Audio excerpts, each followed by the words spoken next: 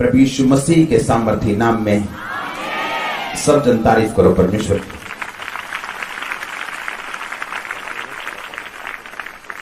अगर बड़ा पेड़ गिराना हो, और अगर आप उसे ध्यान से देखें, जब जब कुल्हाड़ी वाला उसे मारता है तो वो एक ही जगह मारता है तो वो गिरता है हाँ या ना? अगर आप उसे अलग अलग जगह मारें, पूरे ज़ोर से, कभी नीचे, कभी ऊपर कभी ऊपर, कभी इधर, कभी उधर, क्या वो गिरेगा? बोलो, क्या वो गिरेगा क्या? नहीं गिरेगा। क्योंकि पेड़ गिराने के लिए आपको फोकस की ज़रूरत है, जो एनर्जी आपके पास है, आपको सही जगह पे लगानी है अगर आप उस पेड़ को गिराना चाहते हालेलुया उसी तरह से प्रार्थना है। आमीन सेम प्रेयर है। अगर आप चाहते हैं कि परमेश्वर ये बड़ा काम आपकी ज़िंदगी में करे, या वो काम आपकी ज़िंदगी में करे, मैंने आपको आज प्रार्थना करना सिखाया हाँ या ना? आप जानते जब डैनियल प्रार्थना कर रहा था अगर आप अगर आप बाइबल ध्यान से पढ़ते हैं, आप पुराने नियम में जितने लोगों या नए नियम में जितने लोगों को पढ़ते हैं मोस्टली तब परमेश्वर की आत्मा या उसके दूतों ने काम किया है जब प्रार्थना परमेश्वर के वचन के बीच में से की गई। खाली हालेलुया आप अगर दैनियल को प्रार्थना करते सुने तो डैनियल इस तरह से प्रार्थना करता है, हे मेरे परमेश्वर तो वो परमेश्वर है जिसने इसराइल को मिस्र देश से निकाला था। तो वो परमेश्वर है जिसने समुद्र को दो भाग कर दिया था फिर अपने लोगों को कनान देश में पहुँचाया। तो वो परमेश्वर है जिसने आसमान से मन्ना बरसाया था और बाइबल में लिखा है उसी टाइम दूध भेज दिया गया स्वर्ग से डैनियल के, के उत्तर को लेके दूध भेज दिया गया दूत जा और डैनियल की प्रार्थना का उत्तर दे गया। हालेलुया। डैनियल इस तरह प्रार्थना नहीं कर रहा था ओम मर गए प्रभु जी। ओ प्रभु जी बचा लो कितने हो तुम डैनियल लिखा बाइबल के बीच से प्रार्थना करा था। हे परमेश्वर, तू वही है जिसने मिस्रियों से हमको निकाला था। तूने भारी प्रॉब्लम से हमें आज़ाद किया था। तू वही परमेश्वर है जिसने समुद्र को तो भाग कर दिया गया अब तू वही परमेश्वर है जिसने आसमान से खाना बरसाया था। तू वही परमेश्वर है जो आग के खंभे और बादल में से हो गए जिसने हमारी अगुवाई की थी। आज हम मन फिराते हैं, आज हम तेरी ओर मुड़ते हैं, लेकिन उसी समय दूध भेज दिया गया। अगर आप पत्रस की प्रार्थना को सुने, जब उसे मार पड़ी तो वो आगे बोलते भे परमेश्वर, तू वही परमेश्वर जिसने कहा था, अंत के दिनों में मैं अपना आत्मा सब मनुष्य पे ढूंढे लूँगा। तुम्हारे दास, तुम्हारी दासियाँ भविष्यवाणी करेंगी, वो तुम्हारे बेटे तुम्हारे बेटे दर्शन देखेंगे। कितने मेरी बात को भविष्यवाणी करेंगे और दर्शन देखेंगे और मैं अपने दास दासी पे अपने आत्मा से ढूंढे कितने इस वचन को जानते और लिखा जैसे ही उस वचन में से प्रार्थना खत्म हुई लिखा परमेश्वर का आत्मा उस जगह पे उतरा और सब लोग पवित्र आत्मा से भर गए और वो स्थान जो प्रार्थना वहां पे कर रहे थे वो हिल गया हाँ या ना क्या वो इस तरह से प्रार्थना कर रहे थे हाय परमेश्वर मर गए ਉਹ ਦੇਖੋ ਉਹਨੇ ਕੀ ਕਰਦਾ ਉਹ ਪਰਮੇਸ਼ਰ ਜੀ ਕੁੱਟੇ ਗਏ ਸਾਡੀ ਬੜੀ ਫੈਂਟੀ ਲਾਈ ਉਹਨਾਂ ਨੇ ਉਹ ਉਹਨਾਂ ਨੂੰ ਮਾਰ ਦਿਓ ਉਹ ਸਾਡੇ ਦੁਸ਼ਮਣਾਂ ਨੂੰ ਫੜ ਲਓ परमेश्वर जी नो नो नो वचन से जब आप प्रार्थना करते हैं आप आकर्षित करते हैं दूतों को कि वो, वो इंटरफेयर करें आपकी लाइफ में। वो एंटर करें आपकी लाइफ में। वो उस चीज़ को काटे जो शैतान की ओर से आमीन। आप जो वचन के बीच से प्रार्थना करना सीख जाते हैं आपकी प्रेयर इमोशनल नहीं आपकी प्रेयर स्क्रिप्चुअल है आपकी प्रार्थना बाइबल के वचनों के बीच से की गई है आमीन। आपको इस बात को आज ध्यान से समझना है। हालेलुया जब बाइबल के बीच से आप प्रार्थना करते हैं। दूत आपके लिए भेजे जाते हैं। परमेश्वर आपकी ज़रूरत के हिसाब से कभी काम नहीं करता। वो आपके विश्वास के हिसाब से काम करता है। हाँ या ना? सब मेरी ओर ध्यान दो। अपने पड़ोसी को बोलो, परमेश्वर, तेरी ज़रूरत के हिसाब से नहीं, पर तेरे विश्वास के हिसाब से काम करता है। आमीन वीरवार को मैंने बताया था कि जब सुब, जब उस व्यक्ति ने कहा था, परमेश्वर मेरा सेवक बड़ा बीमार है, आप उसे आओ और उसे घर में, आप उसे चंगा करो। परमेश्वर ने कहा, मैं आकर उसे चंगा करूँगा।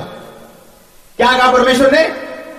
मैं आकर उसे वो कहता, नहीं नहीं, परमेश्वर, मैं अधिकारों वाला मनुष्य हूँ।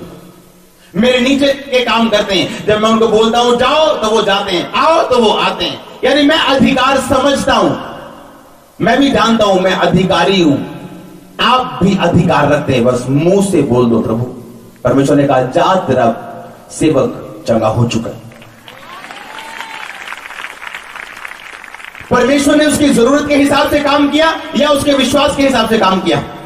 शमोन कोड़ी के घर में परमेश्वर जाते हैं और वापस आते हैं। शमोन कोड़ी कोड़ी का कोड़ी खुद प्रभु यीशु मसीह के सामने वो कोड़ी का क्या रह जाता है? कोड़ी रह जाता उसके घर में आके एक पापन औरत शिफा पा जाती, पर शमोन कोड़ी शिफा नहीं पाता। कारण क्या था? अविश्वास। परमेश्वर में शक कर रहा था, अगर ए यीशु है ते कहना इनू नहीं पता कि जेड़ी औरत नु छो रही है पापी है। परमेश्वर ने कहा शमोन डॉक्टर बीमारों के लिए, मैं पापियों के लिए आया हूँ। जो पहले से धर्मी है, उनके लिए नहीं जो पापी हैं मैं उनके लिए आया हूँ। अगर ये पापी मेरे पाओं को छू रही है तो इसके पाप माफ़ है। उसने कहा जा चली जा। और पाप से बची रहे। क्योंकि तूने चंगाई तूने शिफा तूने अपनी अपनी बीमारों से अप, अपने पापों से आज़ादी पाली और शमोन कोड़ी कोड़ी का कोड़ी। हालेलुया। आप जो वही आयत पढ़ते हैं 131 की एक आयत। आज मुझे पंजाबी में पढ़नी पड़ेगी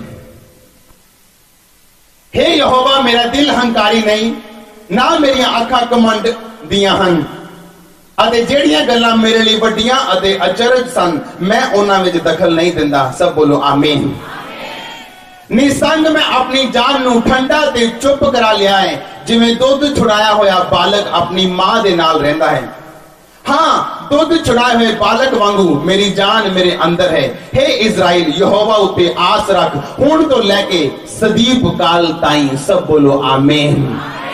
परमेश्वर ने कहा का? उस व्यक्ति ने कहा कि मेरा मन कैसे रहता है? जैसे एक माता की गोद में दूध छुड़ाया हुआ बालक। जब दूध छुड़ाते हैं बालकों का, बच्चों का तो उसका, माता की गोद में उसका ध्यान कहा रहता है हर वक्त? कि मैं दूध पीना है। हाँ या ना? लेकिन उसको मम्मी ने छुड़ा दिया, उसकी मम्मी उसे मारती है, उसे तंग करती है, उसे पीने नहीं देती। लेकिन वो चुप करके बैठा है उसका पूरा ध्यान कहाँ है? कि मैंने दूध पीना है। हाँ या ना? लेकिन अब वो कर नहीं रहा, जो क्यों? क्योंकि अब उसकी माता ने उसे छुड़ा दिए हैं। लेकिन वो माता के साथ लड़ाई नहीं कर रहा, संघर्ष नहीं कर रहा, चाहे उसका दिल कर रहे। मोस्टली मेरेकल्स आपकी लाइफ में तब होते हैं, जब आपका मन शांत होता है। बड़े चमत्कार बड़े काम आपकी जिंदगी में तब शुरू होते हैं जब आपका मन कैसा होता है शांत एक आयत में लिखा जब आप दोबारा से पढ़ते हैं ਕਿ ਜਿਹੜੀਆਂ ਗੱਲਾਂ ਮੇਰੇ ਲਈ ਵੱਡੀਆਂ ਤੇ ਅਚਰਜ ਸਨ ਮੈਂ ਉਹਨਾਂ ਵਿੱਚ ਦਖਲ ਨਹੀਂ ਦਿੰਦਾ ਕਿਹੜੀਆਂ ਗੱਲਾਂ ਜਿਹੜੀਆਂ ਵੱਡੀਆਂ ਤੇ अचरज मतलब आश्चर्य हैरान करने वाली जो समझ से बाहर है ਹਾਏ ਉਹਦੇ ਦੋ ਕੁੜੀਆਂ ਹੋ ਗਈਆਂ ਰੱਬ ਵੀ ਨਾ ਬਸ ਐਦਾਂ ਲੱਗਦਾ ਜੇ ਰੱਬ ਨੂੰ ਸਲਾਹ ਦੇ ਰਹੇ ਆਪਾਂ ਕਿ ਤੈਨੂੰ ਉਹਨੂੰ ਦੂਜਾ ਮੁੰਡਾ ਦੇ ਦੇਣਾ ਚਾਹੀਦਾ ਸੀ कितने मेरी बात को समझ रहे हैं आप नहीं जानते जो दूसरी लड़की पैदा हो रही है वो सेवक है भविष्य दर्शन है या क्या है आप नहीं जानते आपको सिर्फ बोलना आता है हालेलुया जब मेरी वाइफ पैदा हुई थी अपने घर में, लोग रोने के लिए और विलाप करने के लिए इसके घर में आए थे। कीता लेकर तीजी कुड़ी हो गई। इनके पिता ने कहा था, रोने धोने की ज़रूरत नहीं, मुझे लड़कियाँ बहुत पसंद हैं। आज वही लड़की आपके सामने बैठी है।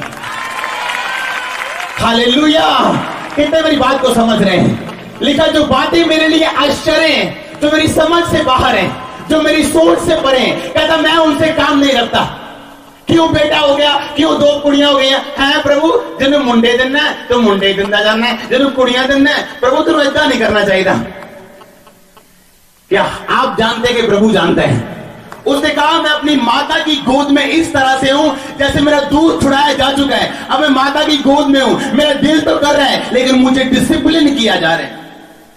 मुझे डिसिप्लिन में रखा जा रहा है, अपनी माता की गोद में। उसी तरह कहता कहता, मेरा दिल शांत है। आपकी लाइफ में बिगेस्ट टेस्टमनी उन दिनों में आएगी जब आपका दिल शांत होगा? आपको जल्दी नहीं होगी। इन सात संडे में मैंने चमत्कार लेना है। मैंने काम करना करना है। प्रभु तुझे करना ही करना है। वो कभी प्रेशर नहीं डालेगा। उसने कहा, मेरा मन इस तरह से है दूध छुड़ाया, बालक अपनी माता की गोद में रहता है। कहते जो बातें मेरी समझ से परे हैं, मैं उन पर ध्यान नहीं देता। जो आश्चर्यचकित है कहता मैं उन पर ध्यान नहीं लगाता जब मुझे समझ ही नहीं है इन बातों की। हालेलुया। कैसे पता आप विश्वासी कैसे पता आपका दिल परमेश्वर के साथ लगा हुआ है? आप उन बातों पे ध्यान नहीं देंगे जो आपकी समझ से परे। हालेलुया। आप परमेश्वर को सलाह देने की कोशिश नहीं करेंगे। वो फ्यूचर जानते हैं। हाँ या ना? वो जानते हैं। ऐसे परिवार जिन, जिनमें तीन तीन लड़के देखे हैं तीनों नशों में, क्या करोगे लड़कों का? लड़के लड़कियाँ कोई मतलब नहीं, सुख परमेश्वर की ओर से निकलता है, लड़के लड़कियों के बीच से नहीं। हालेलुया! वो आपको आपके दिल की डिज़ायर दे सकता है, अगर आप लड़का मांगे, लड़की मांगे। लेकिन जो सुख खाना है, वो परमेश्वर के साथ जुड़ा हुआ है हाँ या ना? इसराइली राजा जब लड़ते थे जब वो लड़ने के लिए जाते थे, लिखा, अगर वो छोटे थे, उनकी सेना छोटी थी, लेकिन परमेश्वर के साथ उनकी वफादारी थी, वो जीत के वापस आते थे। और एक टाइम आता था, जब वो बड़े हो जाते थे। इतने बड़े हो जाते उन्हें लगता था, हम अपनी स्ट्रेंथ के कारण जीत रहे हैं। पाप में चले जाते थे, मूर्ति पूजा करना शुरू करते थे। और एक दिन छोटा राजा आगे उन्हें हराता था। उन्हें फिर समझ आती थी कि हमारा जीतना हमारी ओर से नहीं, यहोवा की ओर से था। फिर वापस जाते थे परमेश्वर की ओर। परमेश्वर में माफ़ कर दे, हम पाप दोबारा नहीं करेंगे। और फिर परमेश्वर उन्हें जिताता था। ये बताने के लिए कि तुम नहीं, मैं हूँ। तुम्हारे आशीष का सोर्स तुम्हारे सुखों का सोर्स तुम्हारे सुखों का सोता मैं हूँ। आमीन। तुम्हारी ताकत नहीं, तुम्हारे बच्चे नहीं, तुम्हारा फाइनेंस नहीं, तुम्हारा शरीर नहीं, तुम्हारा और कोई नहीं, सिर्फ़ मैं और सिर्फ़ मैं और सिर्फ़ मैं, आमीन। सिर्फ़ परमेश्वर। हालेलुया। आज फोकस की कमी है, आग की कमी। अगर एक चीज़ को आज आग लगा दो तो वो तब तक आग जलती, जब तक वो चीज़ को राख नहीं कर देती। यूहन्ना ने कहा था, मेरे पास जो आने वाला है, वो तुम्हें पवित्र आत्मा और आग के साथ बपतिस्मा देगा। जब आग तुम्हारे अंदर जाएगी, लाख दुनिया विरोधी हो, लोग विरोधी हो, कोई विरोधी हो, अपना काम किए बिना आप इस दुनिया से कभी उभर नहीं जाएँगे। अगर आग आपके अंदर है, अगर फायर आपके अंदर है तो आमीन। इसीलिए शैतान फायर खत्म करने की कोशिश करते हैं, आग खत्म करने की कोशिश करते हैं। पाप पे ले जाके, वैश्याओं के अड्डे पे ले जाके, दारू में, दारू पिलाने की ओर लेके लेके जाके। उसे पता अगर आग इसकी ज़िंदगी में रही, पवित्र आत्मा की आग तो ये जलाएगा सब कुछ और तब तक ये खत्म नहीं करेगा, जब तक इसका काम खत्म नहीं हो जाता। हालेलुया। आपको ये बात समझनी लिखा जो बातें मेरी समझ से परे, जो मेरे लिए अचरज हन जो मेरी समझ तो बाहर नहीं, जो जो मेरे लिए बड़ा, बड़ी बातें कहता, मैं उन पर ध्यान नहीं लगाता एक क्रिश्चियन अपने शब्दों से पहचाना जाता है। अपने कपड़ों से नहीं।